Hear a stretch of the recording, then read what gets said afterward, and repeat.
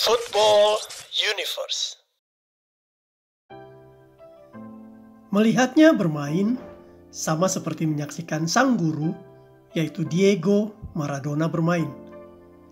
Dia adalah Gianfranco Sola. Si lincah kecil yang selalu dapat memusingkan pemain-pemain lawan dengan manuver-manuvernya. Berikut kisahnya. Please like, comment, share, dan subscribe channel ini jika cerita-cerita sepak bola kami bermanfaat. 13 Mei 1998, Chelsea berhadapan dengan VfB Stuttgart di Stadion Rasunda, Stockholm, Swedia, dalam final UEFA Cup Winners' Cup. Kedua kesebelasan menurunkan amunisi terbaik mereka – dan sejak peluit dibunyikan, jual beli serangan telah dilakukan. Tetapi sampai menit ke-70 babak kedua, tak ada satupun gol yang dapat tercipta dari kedua tim.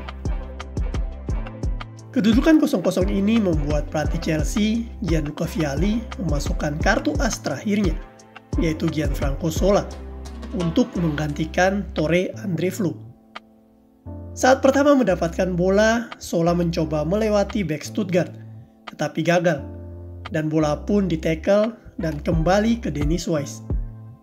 Tanpa mengontrol, Wise kemudian memberikan umpan lambung kembali ke Sola di dekat kotak penalti. Dan dengan tendangan keras, Sola langsung melayangkan bola tersebut masuk ke gawang Stuttgart. Serentak stadion bergemuruh dan kedudukan 1-0 ini bertahan sampai selesai. Chelsea menjadi juara UEFA Cup Winners' Cup 1998 dan Gianfranco Sola menjadi man of the match. Ini hanyalah salah satu dari banyaknya keajaiban yang dilakukan Sola di lapangan hijau. Dan kisah-kisah indahnya akan kami tuturkan satu persatu. Gianfranco Sola lahir di kota Oliena yang berada di Pulau Sardinia, Italia, pada 5 Juli 1966. Kecintaannya terhadap sepak bola telah dimiliki sejak kecil, karena di lingkungan tempat tinggalnya semua anak bermain bola, di jalan dan di pantai, serta dengan senang menonton sepak bola. Klub sepak bola andalan Pulau Sardinia adalah Cagliari Calcio dan Sola kecil juga bercita-cita jika besar nanti ingin bermain untuk Cagliari. Sewaktu berusia 14 tahun, orang tua Sola kemudian memasukkannya ke salah satu klub di kota mereka yang bernama Korasi Oliena. Di klub ini bakat sepak bola jalanan Sola kemudian dibentuk lagi. Dirinya diperkenalkan dengan teknik dan taktik sepak bola yang benar – sehingga kemampuannya semakin meningkat. Secara fisik, Sola memang yang terkecil waktu itu dibandingkan teman-temannya. Tetapi Sola sangat lincah ketika meliak-liuk dengan bola. Dan hal inilah yang membuatnya spesial. Sola muda kemudian bertumbuh menjadi pemain andalan Korasi Oliena. Beberapa turnamen dimenangkannya untuk mereka – sehingga di usianya yang ke-18 tahun, dia pun berhasil lulus seleksi tim semi profesional di kotanya yang bernama Nuorese Calcio. Di klub barunya ini, Sola selalu memainkan sepak bola yang indah. Ketajamannya juga diuji dan diasah sedemikian sehingga semakin matang. 10 gol berhasil dicetaknya dari 31 kesempatan bermain di dua musim. Pencapaian tersebut membuatnya direkrut oleh salah satu klub Serie C Liga Italia yang bernama Torres Zazzari pada tahun 1986. Dia pun diberikan kontrak profesional pertamanya di klub ini saat dirinya berusia 20 tahun. Sola sangat senang akan hal ini karena di klub inilah dia memulai karir profesionalnya dan juga dia dijadikan starter Musim pertamanya di Torres dilaluinya dengan mencetak 8 gol. Di musim kedua, dia agak terganggu dengan cedera, sehingga hanya dapat mencetak 2 gol. Tetapi di musim ketiga, Sola kembali bangkit setelah cedera dengan mencetak 11 gol. Selama berada di Torres, rupanya Sola berada dalam pengawasan seorang pencari bakat yang bernama Luciano Moggi. Pria ini adalah Moggi yang kemudian menjadi petinggi Juventus saat Calciopoli 2006. Waktu itu Moggi sangat senang dengan permainan Sola dan menawarkannya ke beberapa klub besar di Serie A. Manajer Napoli, Alberto Bigon, kemudian tertarik untuk merekrut penyerang berbakat tersebut. Jadilah pada awal musim 1989-1990, Sola resmi berseragam Napoli. Di sinilah Sola mulai dikenal dan menikmati masa-masa terbaik dalam karirnya, berkembang di bawah tekanan dan profesionalisme yang dituntut oleh Serie A. Waktu itu Sola adalah seorang pemuda di kota baru dan membutuhkan seorang mentor untuk membimbing perkembangannya. Dia kemudian diperkenalkan dengan Maradona, seorang pria yang terlahir kembali di Italia setelah mengasingkan diri dari Catalunya. Kedua pemain ini memiliki kesamaan, yaitu bertubuh mungil, sebuah karakteristik yang dengan cepat dikenali oleh Maradona segera setelah pengumuman perekrutan pemain baru. Akhirnya mereka membeli seorang yang lebih pendek dari saya, Canda Maradona. Begitulah awal ikatan antara keduanya, sehingga Sola dikenal sebagai pemain pengganti Maradona. Sebuah label yang akan membebani sang pemain berbakat ini. Namun hal ini juga sekaligus membuat Sola berkembang pesat dan mampu memberikan stabilitas di Napoli. Saya mempelajari segalanya dari Diego, saya sering memata-matai dia setiap kali dia berlatih dan belajar bagaimana melakukan tendangan bebas seperti dia. Setelah satu tahun, saya benar-benar berubah, kata Sola. Maradona sebenarnya bukanlah mentor yang baik, namun anehnya Sola tampaknya mampu mengeluarkan kemampuan terbaiknya. Keduanya akan menghabiskan waktu berjam-jam setelah latihan untuk berlatih bola mati tendangan melengkung dan menukik yang menjadi identik dengan sang pemain Italia disempurnakan dan diasah oleh El Diego di lapangan latihan. Kemiripan dalam teknik dan eksekusi membuat kedua pemain menjadi terkenal sebagai spesialis tendangan bebas sepanjang karir mereka. Namun bukan hanya bola mati yang dilatih oleh kedua pemain ini, Keduanya secara teratur melakukan adu tendangan penalti yang sangat kompetitif. Dan Maradona juga mengajarkan Sola teknik dribbling, teknik kontrol, serta teknik shooting yang dengan cepat dapat dikuasai Sola. Maradona seperti membuat cloning baru dirinya di lapangan, dan fans pun melihat kedua pemain ini sangat mirip dalam cara bermain. Musim pertama Sola di San Paulo dilaluinya dengan kebanyakan duduk di bangku cadangan. Tetapi setiap kali dimainkan, Sola selalu dapat menunjukkan permainan yang baik. Sola adalah seorang gelandang serang waktu itu yang menyuplai bola ke para striker Napoli. Tetapi karena dia harus menggantikan Maradona, maka dia akan bermain sebagai seorang second striker. Di musim itu, Maradona berhasil menjadi pencetak gol terbanyak Napoli dengan 16 gol. Tim Biru Langit ini juga berhasil dibawanya meraih Scudetto untuk kedua kalinya. Sementara itu Sola dimainkan sebanyak 18 kali dan mampu mencetak 2 gol. Salah satu gol Sola waktu itu tercipta ke gawang Genoa yang membuat Napoli berhasil menjauh dari AC Milan di peringkat kedua. Kontribusi Sola juga cukup besar untuk mengantarkan Napoli meraih Scudetto. Di sepanjang karir Sola, ini adalah satu-satunya Scudetto yang berhasil dia raih, yaitu bersama Napoli. Maradona terpesona dengan murid barunya ini. Dia dapat melihat kemampuan dan keterampilan yang dimiliki oleh pemain muda tersebut meningkat drastis. Namun dia juga melihat sekilas dirinya dalam diri Sola dengan keajaiban yang dimilikinya, yang memiliki lebih dari sekedar kesamaan fisik. Kedua pemain memiliki kaki yang sangat cepat, yang dipadukan dengan pusat gravitasi yang rendah, membuat mereka sulit untuk dibendung saat berlari. Keseimbangan merupakan atribut yang selalu ada pada pemain dengan kemampuan seperti itu.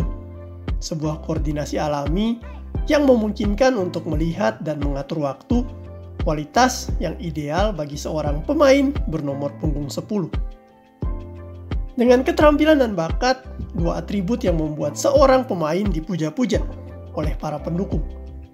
Bukan suatu kebetulan jika keduanya kemudian menjadi favorit para penggemar. Di saat Maradona dan murid barunya ini lagi dipuja-puja fans Napoli, datanglah sebuah masa yang membuat Sola sangat terpukul, yaitu Maradona dinyatakan positif menggunakan narkoba, dan dia pun terkena sanksi 15 bulan tidak boleh bermain di Serie A. Hal ini tentu saja membuat Sola patah semangat, karena kehilangan sang guru. Tetapi Sola terus mencoba tampil maksimal di musim 90-91 ini dan dia pun diturunkan sebanyak 20 kali, serta mampu mencetak 6 gol. Sola terus menantikan kembalinya Maradona, tetapi yang terjadi adalah sang maestro malah memilih hengkang ke Liga Spanyol setelah 15 bulan masa hukumannya. Sola pun memahami bahwa Maradona kini merasa malu terhadap warga Naples dan dia pun ingin ke tempat baru untuk memulihkan reputasinya. Sebelum pindah, Maradona menitipkan pesan ke pelatih Napoli saat itu, Claudio Ranieri, bahwa yang akan menggantikan posisinya adalah Sola. Dan striker muda ini pun diberikan nomor punggung 10 dari Maradona. Sola sangat terharu akan hal ini, serta dia pun menyadari satu hal, bahwa tanggung jawab yang diberikan oleh Maradona ini tak boleh disia-siakannya. Sehingga Sola kemudian bermain dengan sepenuh hati untuk Napoli. Musim 1991-1992 dilaluinya sebagai striker, turun di 38 pertandingan Napoli, serta mampu mencetak 13 gol. Fans dibuat takjub dengan pergerakan dan kelincahannya. Insting mencetak golnya juga semakin tajam. Di musim selanjutnya 92-93, dia bahkan dimainkan di 43 pertandingan Napoli, serta mampu mencetak 14 gol. 12 asis Sola di musim ini juga dapat memanjakan striker utama Napoli, yaitu Francesco Bayano. Dan fans semakin yakin bahwa Sola adalah nyawa permainan Napoli setelah era Maradona. Dia pun diberi julukan si penyihir kecil oleh fans Napoli. Tetapi saat Sola sedang berada di puncak permainannya untuk Napoli, masalah baru kembali datang menghampiri Klub Naples ini ternyata terlilit hutang yang sangat besar jumlahnya akibat aksi korupsi petinggi klub. Akhirnya beberapa pemain bintang Napoli harus dilepas, seperti Jonathan, Ciro Ferrara, Daniel Fonseca, dan termasuk juga Sola. Jadilah pada awal musim 93-94, Sola kemudian dibeli klub AC Parma. Sewaktu mendengar kabar kepindahan Sola, fans Napoli mengamuk karena mereka tahu Napoli akan hancur tanpa Sola. Beberapa fans juga mencap Sola sebagai pengkhianat karena hengkang. Tetapi Sola tak punya pilihan karena Napoli butuh uang untuk memulihkan kondisi klub waktu itu. Hal ini juga pada akhirnya mampu dipahami fans dan mereka pun menghormati keputusan Sola untuk pindah. Kedatangan Sola ke Parma mampu mengangkat performa klub kuning biru ini.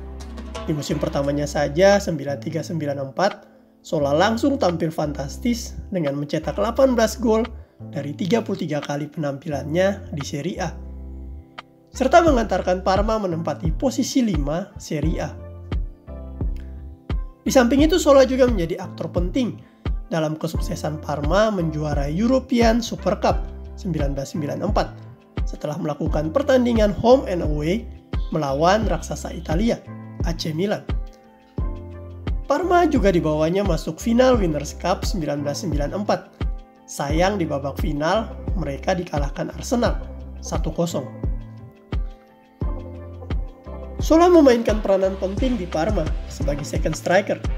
Dirinya mampu menjadi mediator umpan-umpan lini tengah Parma yang dihuni Thomas Brolin, Massimo Kripa, menuju striker utama mereka, Faustino Asprilla.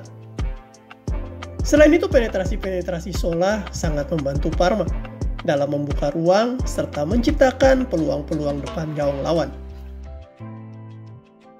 Di musim 1994-1995, Sola semakin menggila dengan mencetak 19 gol untuk Parma. Mereka juga dibawanya melaju sampai babak final Italian Cup dan Italian Super Cup 1995. Tetapi yang paling membanggakan adalah Sola mampu mengantarkan Parma menjuarai UEFA Cup 94-95. Setelah di final, mereka mengalahkan Juventus di laga home and away.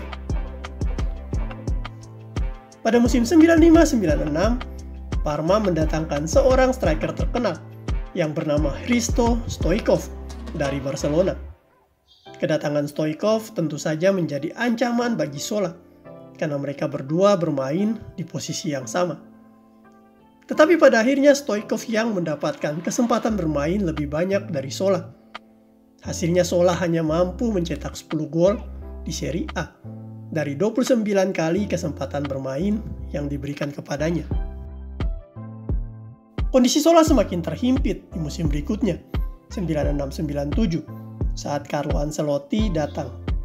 Pelatih baru ini mengubah pola bermain Parma dari 1-5-3-2 menjadi 1-4-4-2.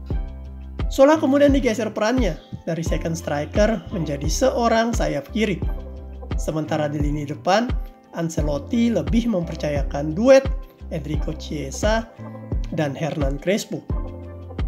Sola sangat tidak senang dengan hal ini, dan di musim 1996-1997 ini, Sola hanya bermain sebanyak 8 kali, sampai bulan November 1996. Dirinya pun meminta Parma melepasnya dan memilih pindah ke Liga Inggris bersama Chelsea Selama berseragam Parma, Sola mampu mencetak total 49 gol dari 102 kali penampilannya. Kedatangan Sola ke Liga Inggris tentu saja mengejutkan banyak pihak, karena waktu itu Liga Inggris dipandang rendah. Tetapi ada satu nama yang merayu Sola untuk datang ke Chelsea, dan orang itu bernama Ruud Gullit.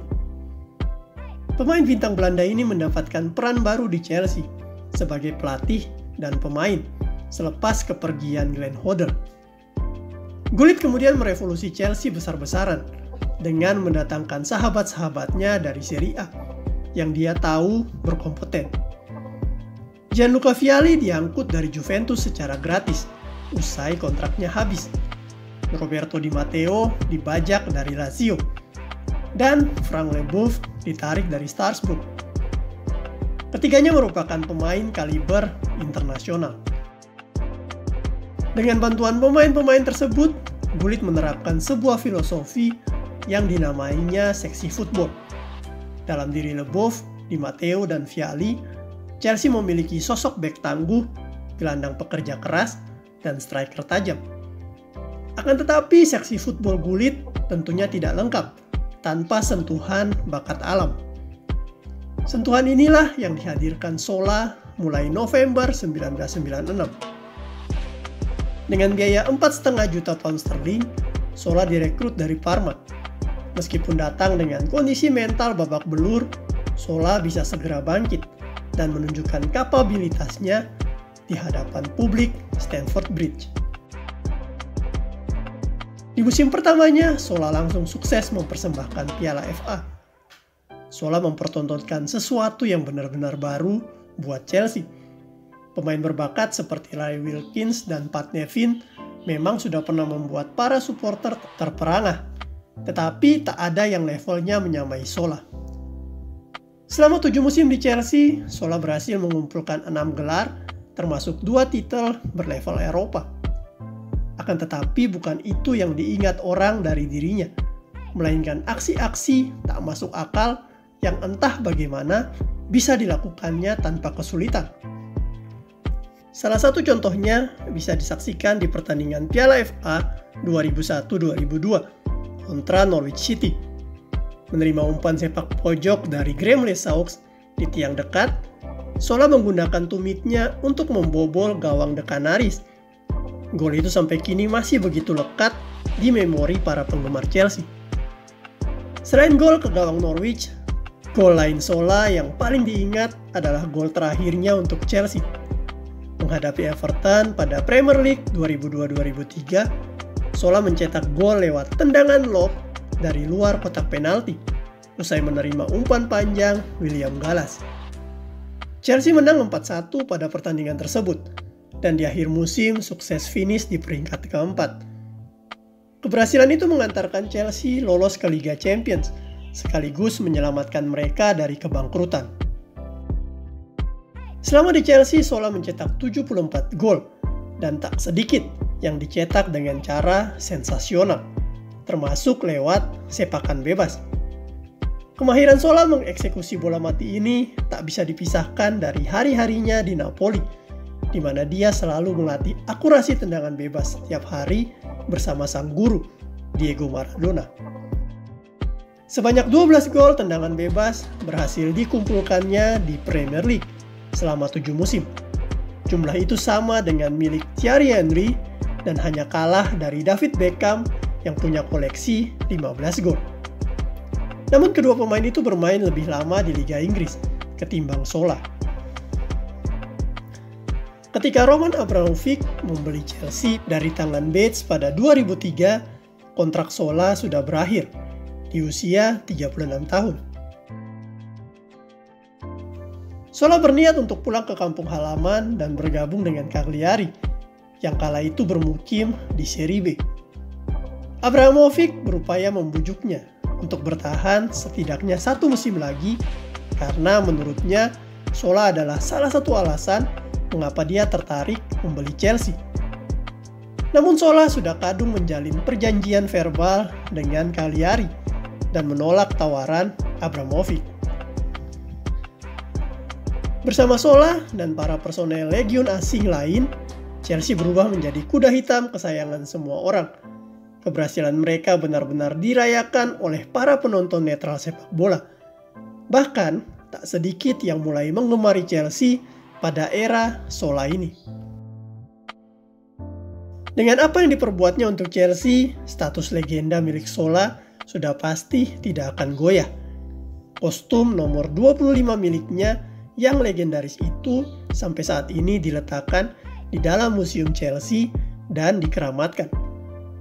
Oleh majalah The Sun, Sola dianugerahkan penghargaan sebagai pemain asing terbaik kedua di sejarah Liga Inggris setelah George Best. Pada tahun 2003, tibalah hari penantian Sola selama 37 tahun untuk memperkuat tim idola kampung halamannya, yaitu Cagliari. Keinginannya berseragam biru merah merupakan cita-cita masa kecilnya dan hal ini akhirnya dapat dia realisasikan. Tim kebanggaannya ini langsung diantarkannya naik kasta dari seri B ke seri A pada musim 2003-2004. Di musim ini Sola mencetak 13 gol dari 43 kali penampilannya dan membuatnya mendapatkan tempat di hati fans Cagliari. Keluarga besar Sola juga sangat bahagia karena mereka akhirnya disanjung di kampung halamannya. Di musim berikutnya, 2004-2005, Sola mencetak 9 gol di Serie A untuk Cagliari. Dan di penghujung musim ini, dia pun memutuskan untuk pensiun di usianya yang ke-39 tahun. Sola menutup karirnya dengan sangat sempurna, dan dia pun masuk dalam lima besar pemain yang mencetak gol terbanyak lewat tendangan bebas di Serie A. Fans Napoli, Parma, dan Cagliari semuanya sepakat bahwa Sola adalah salah satu bintang Serie A yang pantas menjadi legenda. Untuk tim nasional Italia, Sola pertama kali masuk tahun 91 di bawah rekrutan pelatih Arrigo Sacchi. Major turnamen pertama yang diikutinya adalah Piala Dunia 1994. Waktu itu dia masuk di babak kedua saat Italia menghadapi Nigeria. Akan tetapi 12 menit berselang, Sola kemudian mendapatkan kartu merah. Hal ini menjadi sangat membekas di hidup Sola karena di waktu itu saat dirinya sedang bahagia memainkan pertandingan pertamanya untuk Italia di Piala Dunia, dia juga sedih karena dapat kartu merah. Hal yang membuatnya lebih bersedih adalah hari itu, 5 Juli 1994, adalah hari ulang tahunnya.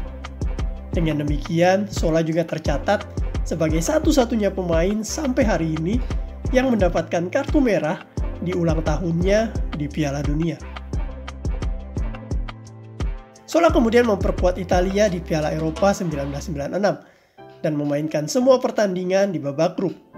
Akan tetapi namanya kemudian menjadi musuh supporter Italia setelah Sola gagal mengeksekusi penalti sewaktu melawan Jerman.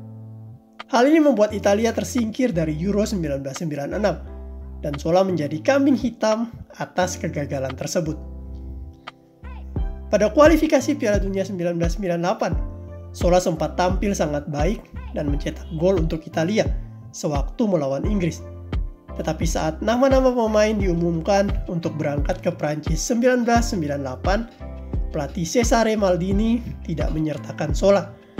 Beliau lebih memilih Del Piero dan Roberto Baggio ketimbang Sola.